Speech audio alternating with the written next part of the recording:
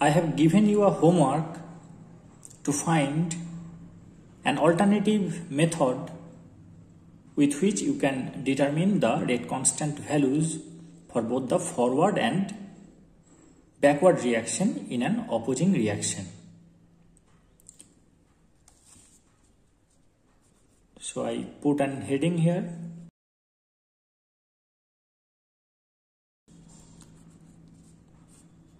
We will start with the simple reaction which was considered in the previous video. Now we start with A. It is 0 when time is 0 and it will be A minus X and it will be X at time t. Now I will introduce a new term which is A minus Xe and it will be Xe when the reaction reaches equilibrium. So after attainment of equilibrium, the rate at which B appears will equal the rate at which B disappears. So there will be no net change in the concentration of B. So at equilibrium, X will be constant and that is referred by Xe. Now rate of formation of product is ddt of x and it is k1 into a minus x minus k2x. Now at equilibrium we will have x equal to xc and this rate to be 0 so we can write 0 equals to k1 into a minus xe minus k2xe. We take this to the left hand side and determine the value of k2. So we get k2 in terms of k1. So it will be k1 into a minus xe upon xe.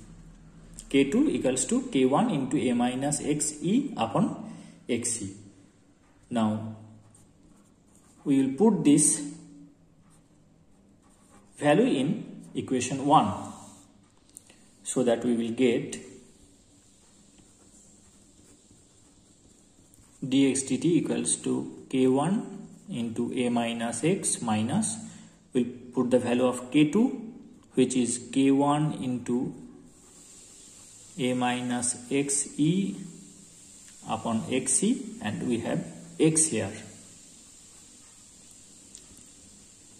Let us perform the simplification. So it will be k1a minus k1x minus k1ax upon xc plus x x will cancel out and it will be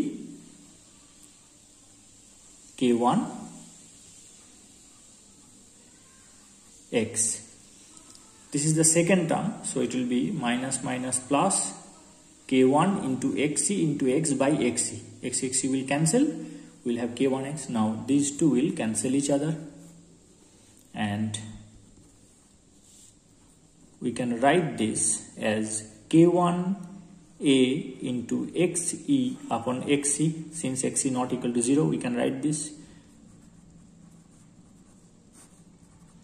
Now we will take this k1 a upon xc as common it is constant X is the concentration of B at equilibrium. So this is constant. This is the initial concentration. This is constant for a particular experiment and this is the rate constant. This is constant at a particular temperature. So we will have Xc minus X in common. So this is the rate of formation of B. So dx dt equal to this expression. So we will write here or dx upon xc minus x. We take this to the left hand side and we will take dt here.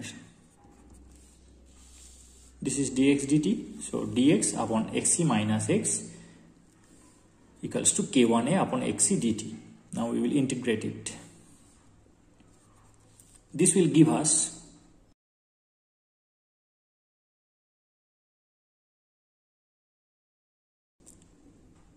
this is the constant so the whole term will come out but there will be no coefficient and since there is a negative term here in front of x we will get a negative term here. You can if you are unable to understand this just consider it as z as in the as i have done in the previous video and then convert dx to dz you will get this relation. Now this constant will come out k1a upon xc it will be t plus the int integration constant. Now at t equals to 0 that is at the time of start we have x equal to 0 so we will get minus log natural xe equals to this part will be 0 equal to i. Now we will put this value of integration constant in this equation. In equation 3 we will have minus ln. You have to write here putting equation putting the integration constant in equation 3 we have. Minus ln xc minus x equals to k1 a upon xc t minus ln xc we take this to the left hand side. So it will be ln xc minus ln xc minus x. So we have here xc in the numerator and xc minus x in the denominator. It will be k1a upon xc t.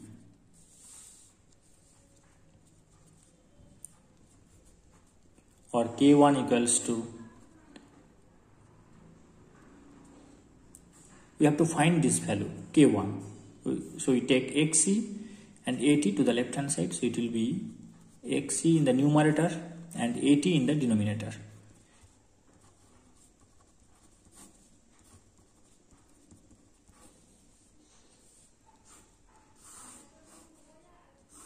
Now we have to measure the concentration of b at any time t. So we put that time we put that corresponding x and also we have to measure the concentration of B when the reaction reaches equilibrium. So we have the value of Xe, we have the value of X, we have the value of T and A is the known value for a and it is constant for a particular experiment. It is the choice of the experimentalist. So we will get the value of the forward rate constant using this relation. Now at the start of this derivation, I have shown you the relation between the two rate constants which is k2 equals to k1 into a minus xc upon xe. This was in equation 2. k2 equals to k1 into a minus xe upon xe.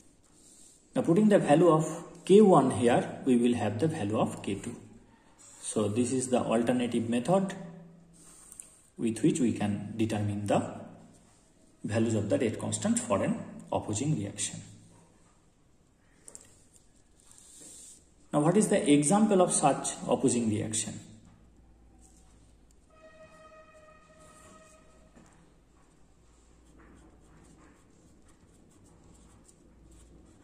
This is ammonium thiocyanate.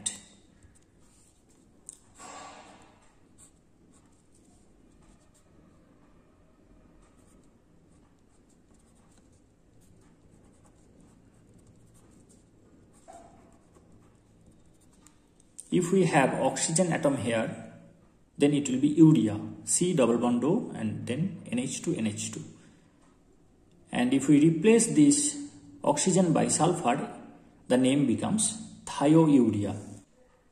So this interconversion of ammonium thiocyanate to thiourea and in the backward direction from thiourea to ammonium thiocyanate is an example of simple opposing reaction that I have considered in these two videos.